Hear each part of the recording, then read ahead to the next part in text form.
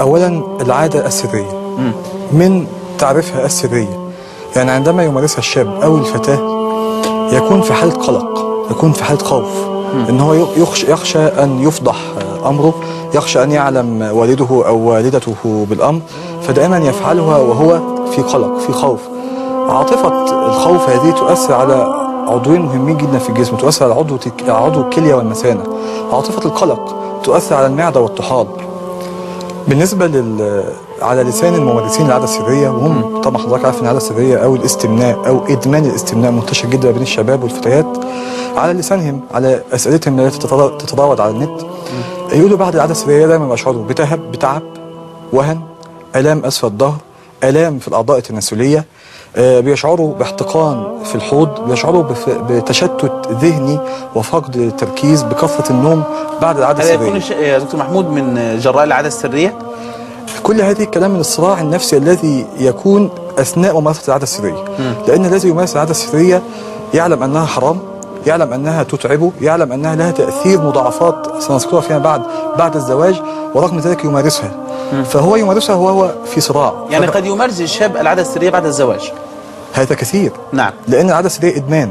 تمام. إدمان الاستمناء. حتى بعد الزواج يحدث إن الشاب يكون يعيش في خيالات معينة م. يتخيل أشياء معينة أثناء الممارسة. يعني حضرتك عايز يا دكتور أنه يشعر بمتعة بالعادة السرية قبل الزواج لا يجدها بعد الزواج مع زوجته. بالضبط فبالتالي يلجأ إلى العادة السرية. لا يجد الاشباع الجنسي مع زوجته وزوجته كذلك. م. فيحدث إنه ممكن يمارس العاده السريه أثناء الزواج. يعني طبعا بتعمل مشاكل اجتماعية كبيرة جدا ما بين الرجل وما بين المرأة. نعم.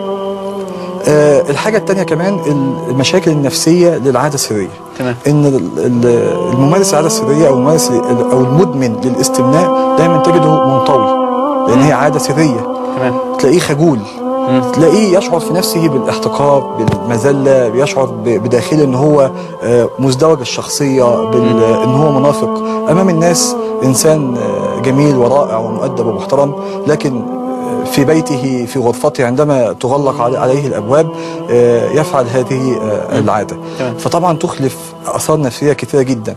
هناك اثار بعد حتى الزواج وبعد الممارسة الطبيعية التي فطر النص عليها اللي هي سرعه القصف.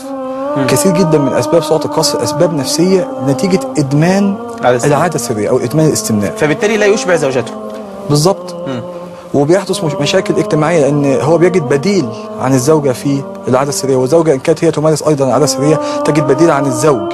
فيحدث مفارقة ممكن ما بين زوجين لسبب بسيط مثل هذا. يعني يا دكتور أيضا المرأة قد تستمتع بالعادة السرية أكثر ما تستمتع بزوجها؟ إذا كانت مدمنة وإذا كانت العادة السرية تمكنت منها. وعاشت بخيالاتها وعاشت في واقع يعني عاشت في خيال لا تجده في الواقع.